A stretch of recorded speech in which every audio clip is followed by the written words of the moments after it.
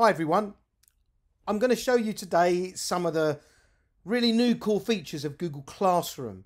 So the following videos are going to look at how we can add a rubric, how we can access originality reports, which is Google's way of looking at plagiarism, how students may copy and paste from the internet, and how they may be using citations within their work.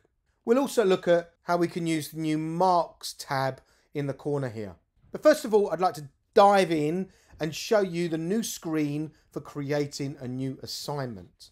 So if we click on create and then we go to assignment, what that now does, it brings up a full screen. It used to be just a window within Google Classroom. So this offers a little bit more space on the screen for you to actually do your assignment. So I'm going to add an assignment here and we're just going to do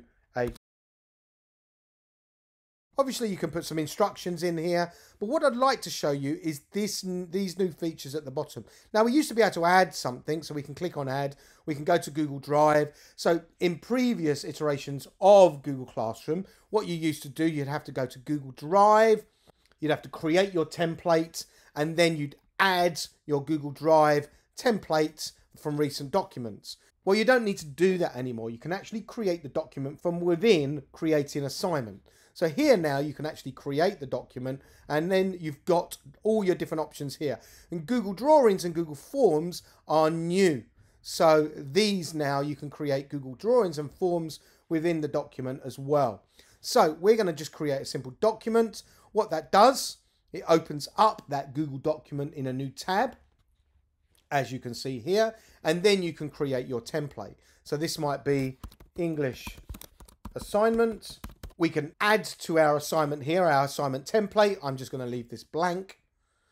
And then we can close it. That will change once we refresh the screen. Then over here, we can then choose from our menu, make a copy for each student, and then we can assign it. Now, remembering over here that we've got the option to choose multiple classrooms. This is not new. And then we've also got this option to create an assignment for individual students or groups of students. Again, that's not new as well. We've got points here and due date and topic, all features that existed in Google Classroom before. But now we've also got these options to create a rubric and originality reports. If you want to find out about rubrics, click the card in the corner now in the top right corner. If you want to find out about originality reports, you can click on the card in the corner that's displaying right now and you can find out more about those. So what I'm going to do is assign that. That's now assigned. I didn't give it a topic, so it's in my list of assignments here. I've got the option here on the three drop down menus to edit it, to delete it. The copy link, this is very good if you want to email that link out to the students um, or teachers for that matter. And now I'm going to look at the student view. So here is our student view.